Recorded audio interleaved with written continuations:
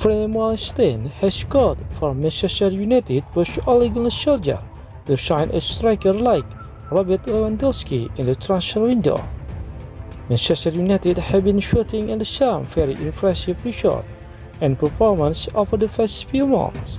Ever since Bruno Fernandes arrived at the club and their three-0 victory over Bristol now mean that they are unbeaten in 15 matches.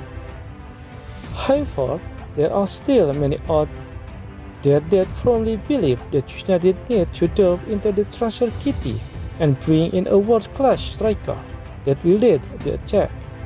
As Anthony Martial, Marcus Rashford, and Mason Greenwood are not number 9s.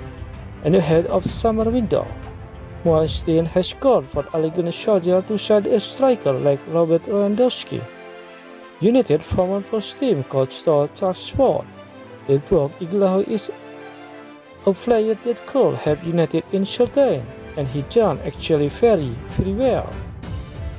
But if you look at the other players that have been there, Rashford, Martial, they are not really out and out striker. Greenwood is young player coming up, Sam Chingdale.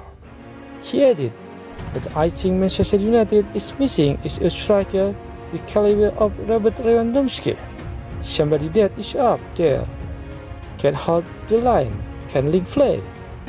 Look, United do have an exciting side, but a world-class striker would be the action on the cake, especially as he would add it to the 50 plus goal that the young trio have scored this season for United. However, with the performance of the trio, there is a case for a club to not sign a striker as this three are scoring goal for fun and on a weekly basis, so adding a new forward into the mix may actually upset the flow of the side right now.